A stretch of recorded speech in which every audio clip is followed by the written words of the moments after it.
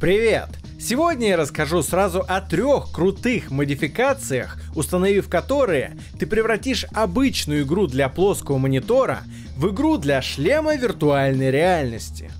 У меня есть три параметра, по которым модификация получает статус крутая. Во-первых, это полная работоспособность, то есть игру можно пройти в шлеме целиком. Во-вторых, это поддержка контроллеров движения. А как же иначе? Взаимодействовать с игровым миром руками — это одна из главных фишек виртуальной реальности. И в-третьих, чтобы установить модификацию, не нужно быть IT-специалистом, то есть она должна быть проста в инсталляции. Конечно, чтобы опробовать эти VR-модификации, а также множество других крутых VR-проектов, тебе сначала понадобится шлем виртуальной реальности. И я знаю место, где ты всегда сможешь себе его выбрать. Это магазин «Виртуальные очки». Ребята в основном занимаются виртуальной и дополненной реальностью и предлагают огромный ассортимент продукции как в наличии, так и под заказ с доставкой по всей России. У них ты можешь заказать как бюджетный Quest 2 и Pico 4, так и топовые Valve Index и Quest Pro. А убедиться в этом сам ты можешь по ссылке в описании. Первая игра, про которую я сегодня расскажу и которая получила поддержку виртуальной реальности при помощи своих верных фанатов, это Firewatch. Игра, которая вышла в феврале 2016 года и покорила сердца людей своей атмосферой непринужденности и спокойствия. Посвящается она человеку, который работает смотрителем пожарной вышки в бескрайних лесах штата Вайоминг, США. Главный герой — Генри. Из-за проблем в семье он пытается забыться и устраиваться на работу вдали от цивилизации. Хоть поначалу и кажется, что нам предстоит легкая прогулка на свежем воздухе, на самом деле эта история окутана туманом тайн и интриг. То дети пиротехникой балуются, то проводку погрызли какие-то псины, а вот мне лишнюю форточку сделали в окне. Неприятно.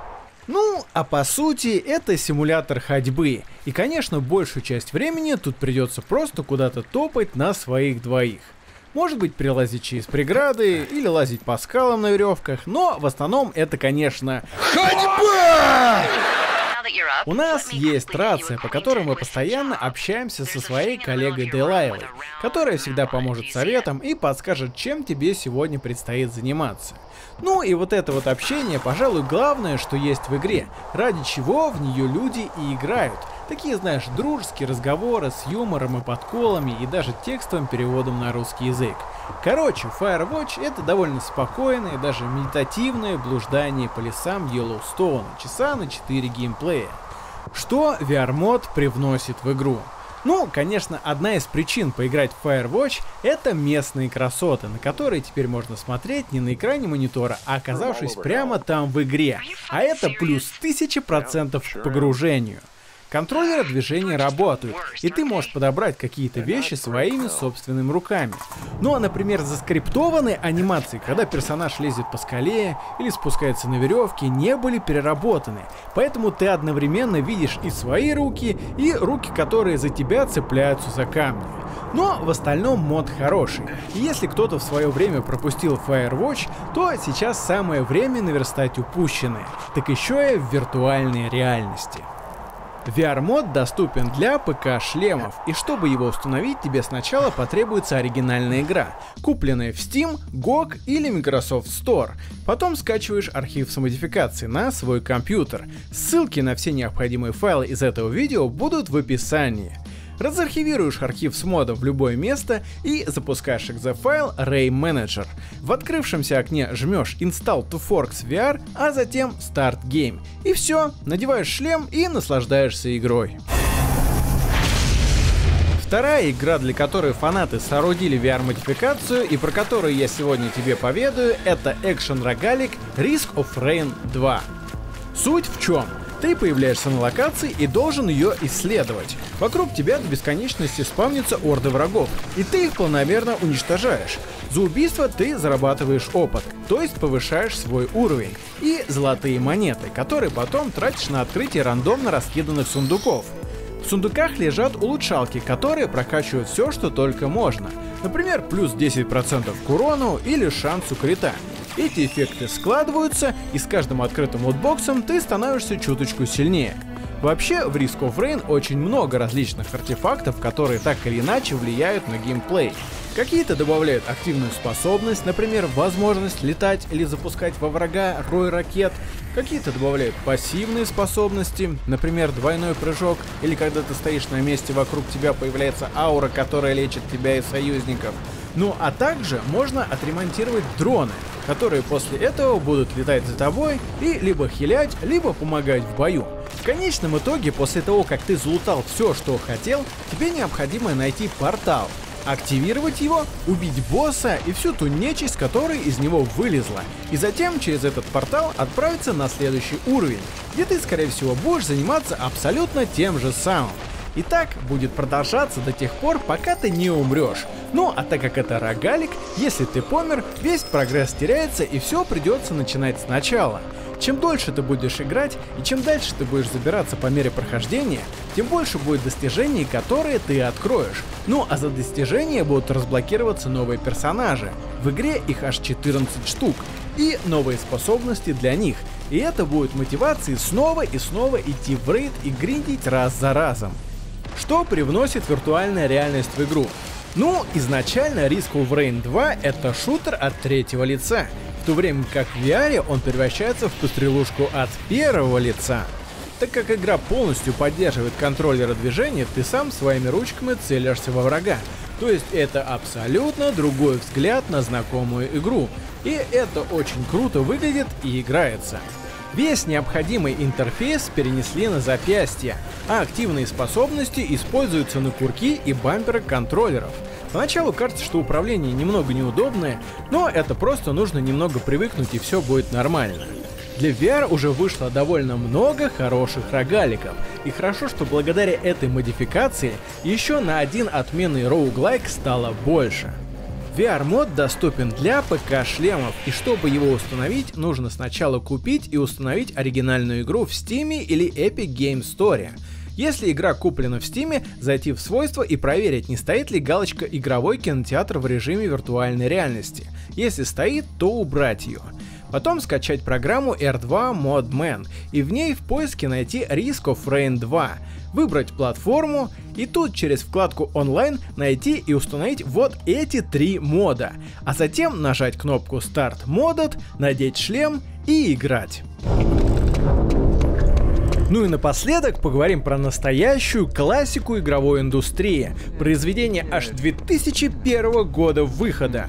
Речь пойдет о возвращении в замок Вольфенштейн.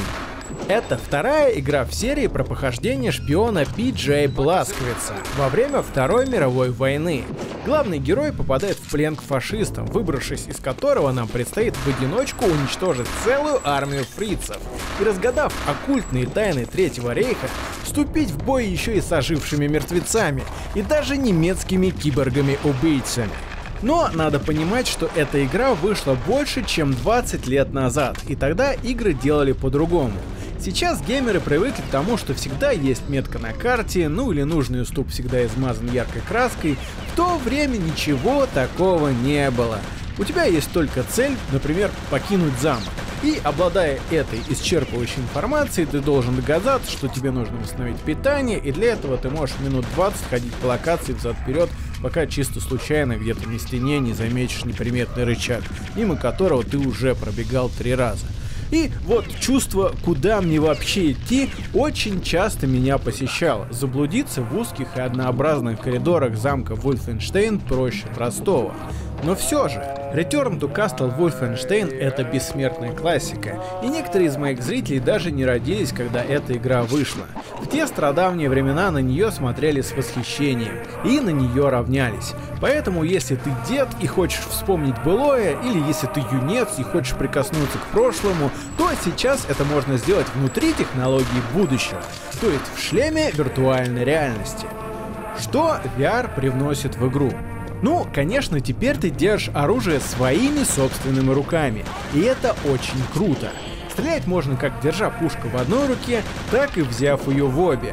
Хотя левая рука вообще не отображается на экране. Из недостатков могу отметить, что есть ощущение, что кнопок на контроллерах второго квеста хватало впритык, поэтому к раскладке придется немного привыкнуть. И, к сожалению, нормальную перезарядку в модификации не смогли реализовать. Ты просто жмешь на кнопку и смотришь на анимацию перезарядки. Если предыдущие два мода работали только на персональных компьютерах, то VR-мод для Return to Castle Wolfenstein можно запустить только на автономном режиме Oculus Quest 2 или Quest Pro. Для того, чтобы это сделать, нужно сначала установить программу SideQuest на свой ПК, затем подключить Quest 2 к ПК и через программу SideQuest установить APK-файл игры Return to Castle Wolfenstein на второй Quest, После отключить шлем и запустить игру из неизвестных источников на шлеме. В принципе, игра уже работает, но это демо, и запускали ее мы только, чтобы завершить установку, чтобы приложение создало все необходимые директории. Потом мы устанавливаем ПК-версию Return to Castle Wolfenstein в Steam или качаем ее откуда угодно. Теперь заходим в папку с установленной ПК-версией и снова подключаем шлем к компьютеру. И вот эти файлы из папки с ПК-версии копируем вот в эту папку на втором квесте. Все, теперь у нас на шлеме не демо, а полная версия игры. Можно играть. Конечно, крутых VR-модификаций намного больше, чем 3, и мне бы хотелось сделать несколько роликов по этой теме, но это будет зависеть от того, насколько хорошо зайдет это видео. Поэтому ставь лайк, пиши в комментариях, какие крутые VR-модификации ты пробовал самостоятельно, ну и, конечно, не забывай подписываться на этот канал. А сейчас я хотел бы передать благодарность всем, кто подписался на мой Boosty, а также поддержал канал через Donation Alerts. Большое вам Спасибо. С вами был Медведи Водки. Это время VR, в котором мы живем.